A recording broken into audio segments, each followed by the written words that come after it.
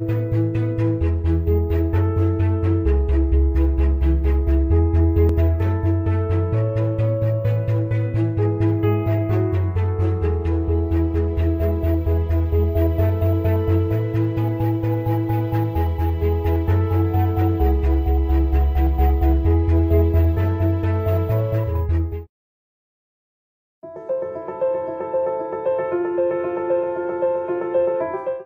welcome back to our series on sustainable aquaculture.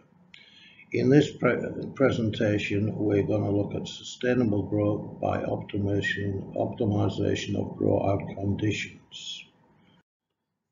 Our ideal growing condition, grow-out conditions. Um, this is what we consider to be ideal grow-out conditions. The pond size 0.4 to 0.5 hectare surface area Water depth 1.2 to 1.5 meters. Uh, stock density, it depends which variety you are stocking, but Vannamei 100 to 150 pieces per meter squared, Monodon 30 to 40 pieces per meter squared. Temperature is 27 to 29 degrees C, salinity 26 to 28 parts per thousand, alkalinity 120 to 140 parts per million. Dissolved oxygen should be greater than 7. Drainage we believe maximum once per month. Other conditions such as feed regime, aeration, uh, etc. Please consult with your consultants in the appropriate field.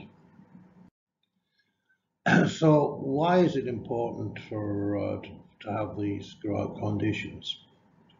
The pond size, we have found that uh, this is the pond size, it is easy to control pond conditions. Uh, bigger is much more difficult and smaller is also difficult with dosing. Water depth. This provides shelter from excessive heat and light.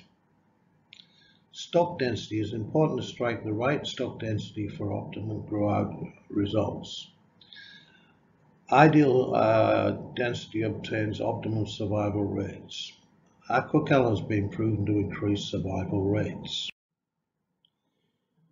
Now we're looking at stock density here. Vannamei, we see stock densities from 50 pieces per meter squared to 500 pieces per meter squared.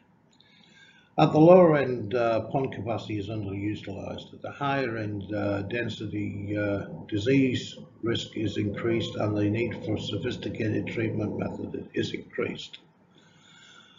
For most farmers with limited resources, we find that stock levels of 100 to 150 pieces per square, square meter are the best. At this level, Aquacal has been found to be effective controlling water quality, survival and growth rates, and at the same time protecting the environment. Uh, for monodon, uh, the, uh, which is predominantly bottom feeder, stock density is limited by the bottom area available. Drainage is not the common practice here, when sludge can build up to over two-thirds of the pond bottom by the end of the culture, limiting the amount of stock you can carry. As Aquacal has been proven to significantly reduce pond bottom sludge, we are able to achieve high stock densities of 60 to 80 uh, uh, per square meter for monodon with good harvest results. However, we still consider 30 to 40 pieces per meter squared for the most farmers the ideal stock density. In both uh, cultures, we recommend partial, uh, partial harvest Temperature. Too low or too high temperature can be uh, affect shrimp's growth rate and survival rate. The ideal temperature for culture is 27 to 29 C. Approved chemical dyestuffs can reduce radiant heat buildup in the water table. Also, uh, physical shading uh, can be used, but this is expensive. Salinity. The ideal salinity is 26 to 28 uh, parts per thousand. Having said this, we see cultures and salinities ranging from 5 to 35 uh, parts per thousand. Aquacal has been uh, seen able to hold alkalinity in low salinity situations as well as throughout the salinity range. With higher salinities, you will encounter slower growth. Aquacal cannot assist in this situation. We recommend dilution with the lower salinity makeup water if this is available. Alkalinity. The right level of, uh, sorry, alkalinity uh, ideal is 120 to 140 parts per million. Right level of alkalinity helps molding process for shrimps. Aquacal has been proven to maintain alkalinity levels and even raise lower alkalinity over several weeks. pH, the ideal uh, pH is 7.6 to 7.8. However, we often see uh, quite large fluctuations between day and night. Aquacal has been seen to reduce the pH fluctuation between day and night, thus reducing the stress factor in the pond.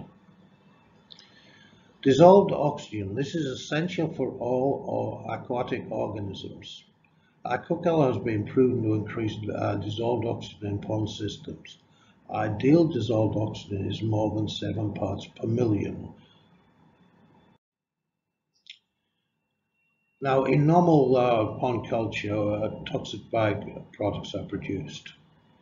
These toxic byproducts should be controlled within defined parameters to ensure good growth and survival rates. Uh, these products include ammonia. This is a byproduct of aerobic sludge digestion. Levels should be controlled at 2 parts per million or less. Nitrite, which is more toxic than ammonia and should be controlled at less than uh, 5, uh, 0.5 parts per million. Uh, phosphate, this usually comes from feed. This is usually from dicalcium phosphate, which is a common binder in uh, many stock feeds. This should be controlled at between 1 and uh, 2 parts per million. Excessive phosphate can um, enhance uh, algae proliferation, particularly toxic algae. Frequent, drainage of sludge seems common today, but is extremely toxic to the environment. It can lead to pathogens and disease to proliferate in this type of system. Optimum growth in all uh, aquaculture systems is a balancing act between prevailing local conditions and economics.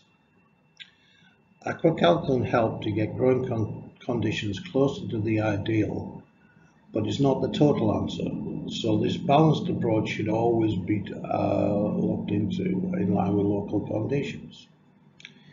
In the next few, slides, we'll look at the results achieved by application of Aquacal under Calix supervision. We now look at monodon in earthen ponds. This was without drainage. The standard practice here was probiotics. We then had a pond with uh, straight aquacal with no probiotics and a pond with aquacal and probiotic mixed. On harvest, the pieces uh, per, per, kilogram were quite significantly different. In the probiotics, it was 46 pieces per kilogram, which is, is quite good. But in aquacal uh, pond, it was 33 pieces per kilogram, significantly better, and the Aquacal probiotics mix 36 pieces per pond. We also see that the uh, Aquacal ponds have a slightly higher survival rate. Again, the harvest weight is the, the telling factor here. In the probiotics pond, we had 4.7 tons.